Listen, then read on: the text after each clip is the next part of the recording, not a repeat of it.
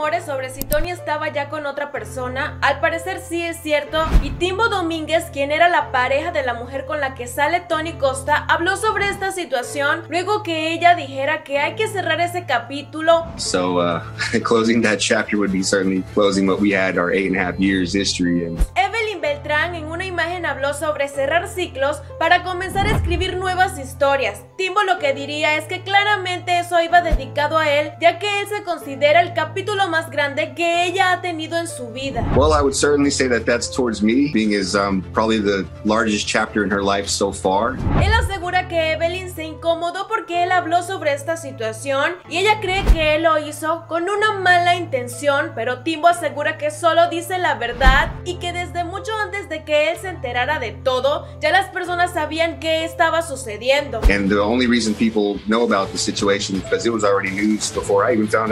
Lo que sí es que Timbo le desea muy buena suerte en esta nueva etapa que ella va a comenzar junto a otra persona, que en este caso sería Tony Costa, que pueda ser feliz en su futuro y a pesar de todo dice que seguirá viéndola siempre, ya que es la mamá de su hijo. I would just say good luck and I hope she's happy. It's obviously somebody I'm going to continue to see for the rest of my life as that's the mother of my child. Se comenta que Tony Costa tendría una nueva novia y en estos momentos estarían juntos en Miami. Como comenté, se trata de la influencer Evelyn Beltrán. Ella vive en Texas, pero el jueves 28 de octubre llegó a Miami, según lo que informaron los conductores del programa Chisme No Like, y quien estaba allí para recibirla fue Tony Costa. Al parecer, ese mismo momento que llega a Miami Evelyn, Adamari publicó una serie de historias de Instagram donde se veía que a un águila le picaba el cuello un cuervo negro. Entonces el águila subió y subió volando cada vez más alto para que el cuervo le faltara el oxígeno y debiera desprenderse. Y se leyó el siguiente mensaje. El único ave que se atreve a picotear a un águila es el cuervo. El águila no gasta su tiempo ni energía en su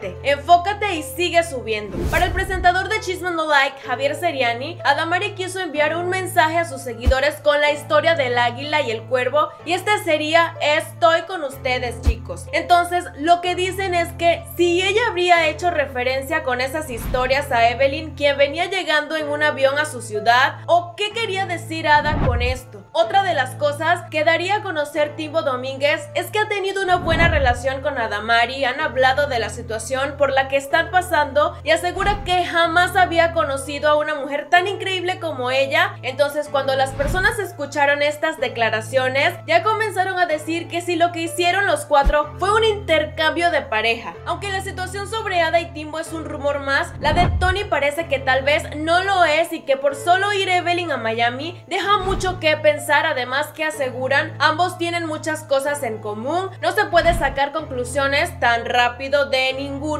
solo el tiempo se encargará de aclarar lo que tenga que aclarar y mostrar cómo son las cosas de verdad. Si te gustó el video dale like, suscríbete a nuestro canal y síguenos en la red social de Facebook. Esto fue Famous Close Up, muchas gracias por haber llegado hasta el final, nos vemos en un próximo video.